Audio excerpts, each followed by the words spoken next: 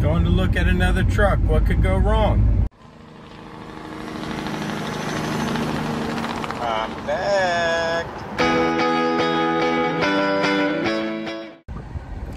Alright, so my wife, three of my kids, and I, we all went and looked at a truck.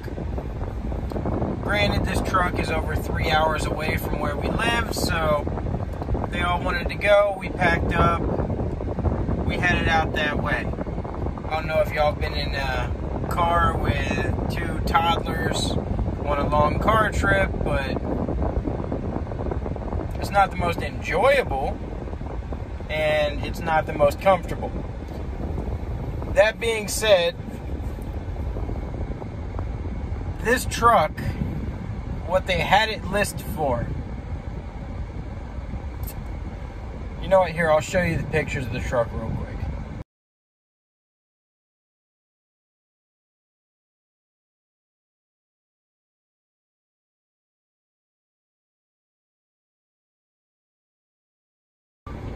Alright, so the listing stated 4300 for it. I messaged the guy over uh, Facebook Messenger about the truck. He said, no, it's roadworthy. Nothing wrong with the truck. That uh, it's ready to go. Yeah, it wasn't at all. And I just, I didn't even take video once I got there. And just, okay. When you say a truck is ready to go, Granted, it was at a used car lot. I should have thought ahead a little bit on this aspect, but I get there. First thing I noticed, the windshield is smashed. Wasn't in the pictures. So, windshield smashed. That's one. I'm looking at the truck over, and there's just burnt rubber and plastic all over the back with a bunch of heat marks all over the frame. So the truck had previously caught on fire. All right, we're rolling again. Truck had previously caught on fire. That wasn't mentioned. What else? Uh, it was missing a fuel tank that was stated in the picture. That's kind of something you need.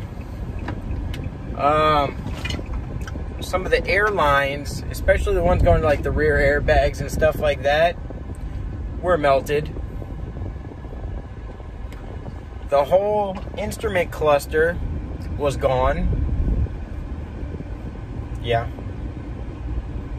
But it was road ready, as stated in the ad. Ugh. So, needless to say, all in all, being in the car for seven hours with the wife and kids, with them complaining that they're hungry and they got to use the bathroom all the time, to drive up and go see a truck that was supposedly road ready when it wasn't. If y'all are going to post an ad on Facebook and state something's road ready, it better damn well be road ready. All right? Now, I don't mean to just go through and complain on this video too much, but if y'all are going to sell something, make damn sure it is what you are selling. And if somebody's driving out from hours away to go look at something, make sure it is what you say it is. Uh, that being said, Y'all guessed it. I bought that FLD. And I'm just waiting on this guy to back out.